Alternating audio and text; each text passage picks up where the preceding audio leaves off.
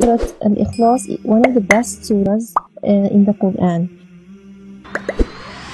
It is proved from the authentic hadith that uh, the surah is equal to one third of the Quran. The context of the revelation of this surah, when the polytheists said, O Muhammad, tell us the genealogy of your Lord, then Allah revealed this surah.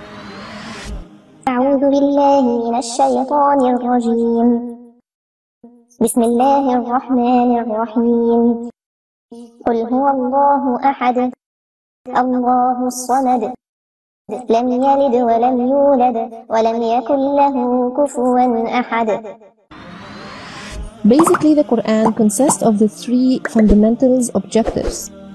The first objective is the orders and the commands, the practical ways of living that defines for us the relationships between human beings. The second objective is the tales and the narratives which includes the stories of the messengers of Allah and their communities. Also, the disasters have been happened to those who denied the messengers of Allah and the rewards for the believers. And the third objective is the knowledge of Tawheed, Islamic monotheism, and the description of the names of Allah and His attributes. And to believe in them is necessary for the worshippers of Allah. And Surah Al-Ikhlas comprises the third objective and it explains Tawheed uh, very well in such a way that no other surah does. Tawheed is uh, the oneness of Allah.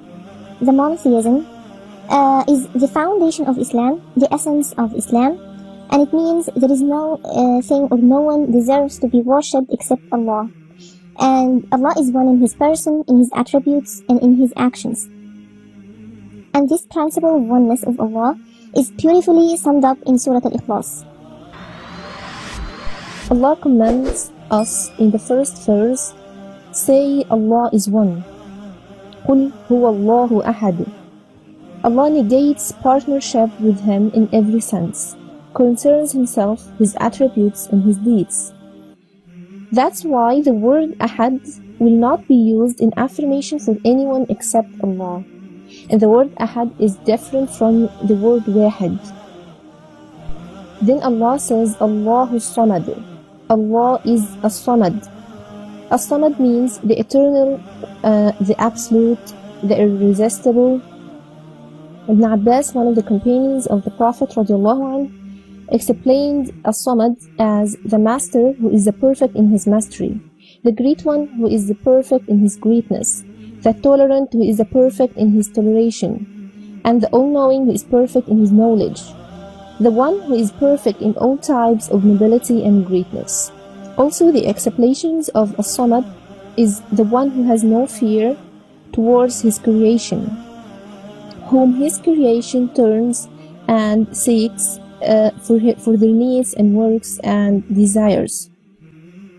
And that was the first half of the surah, which is affirmation of Tawheed. The other half of the surah is the negation of polytheism. As Allah said, لم يلد ولم يولد ولم يكن له كفوا أحد He begets not nor was he begotten and there is none equal to him. And here is the negation of the relationship of father, son, spouse or assistance.